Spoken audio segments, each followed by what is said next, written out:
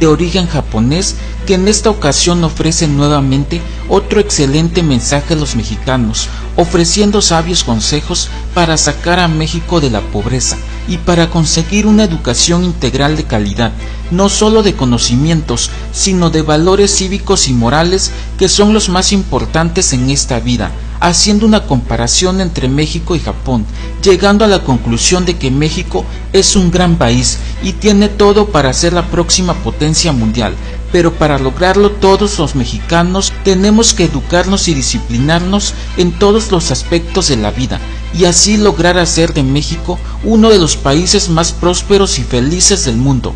Veamos este importante mensaje. ¿Quién creen que sea más rico? ¿Japón o México? Japón es un país chiquito, en el cual viven 127 millones de japonesitos. Pero ¿saben qué? Está catalogada como la potencia más poderosa del mundo.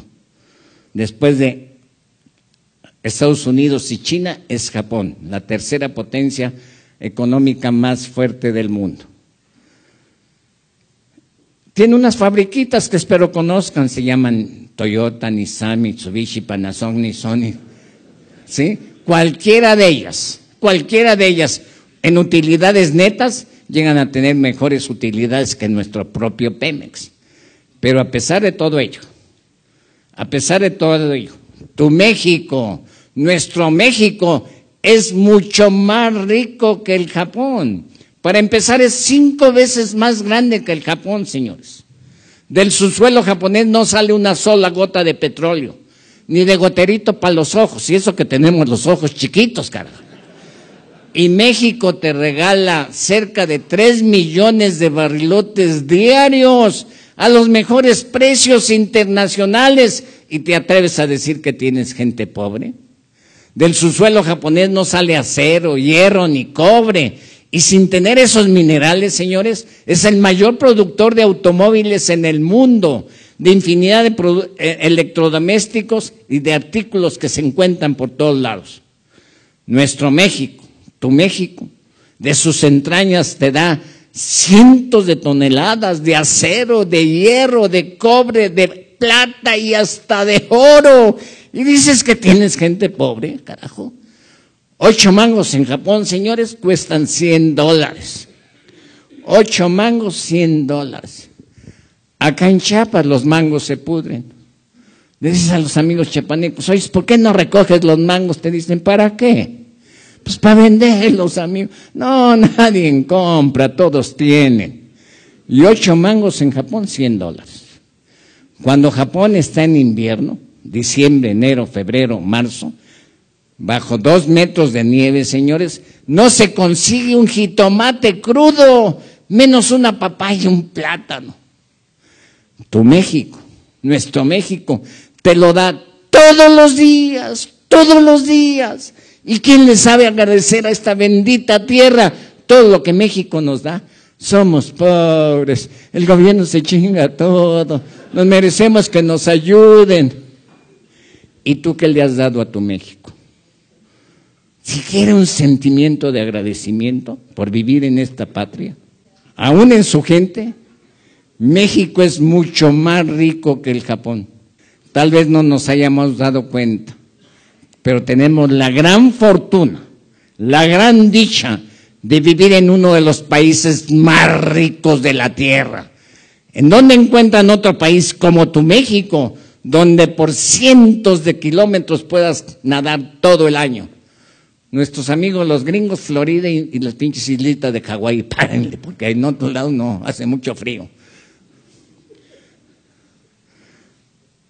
De veras, ¿Dónde encuentras otro país que te dé petróleo, minerales, fauna y flora como te da México?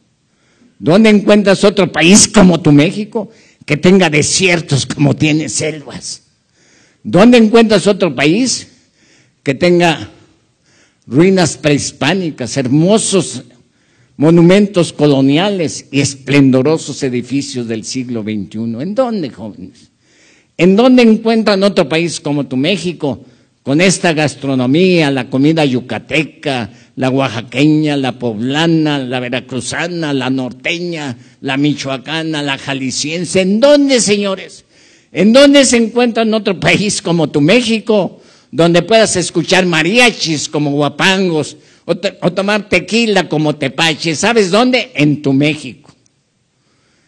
Tienes la gran fortuna de vivir en uno de los países más ricos de la tierra. Entonces, ¿por qué ocupamos los últimos lugares en muchas cosas? En tecnología, en educación, en economía, sin crecimientos.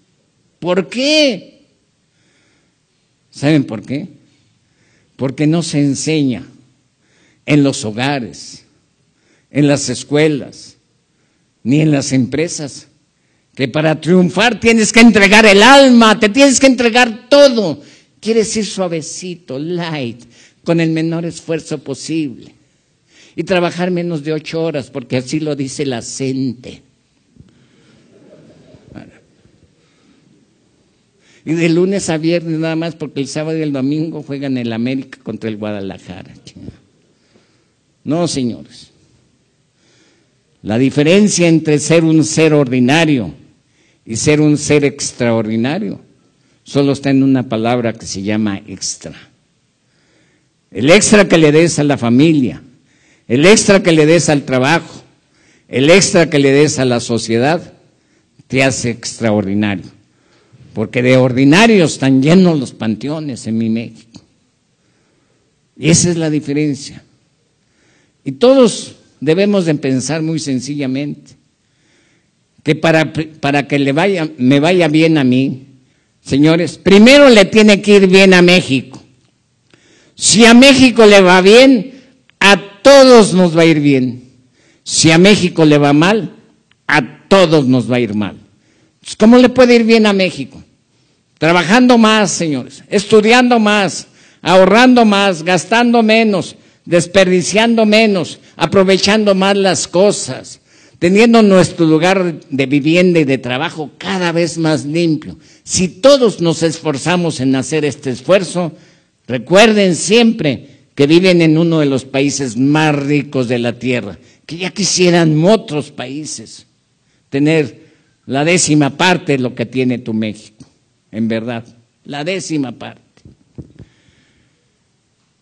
Dejemos ya de causar lástimas, de ser pobres, de tener mentalidad de pobres. Si México es de gente triunfadora, nos toca jugar una eliminatoria contra Brasil, no, ya perdimos. No, ya nos goleamos. No, ya nos chingaron. No suena ni el silbatazo y ya perdimos. ¿Cómo es posible? ¿Cómo es posible?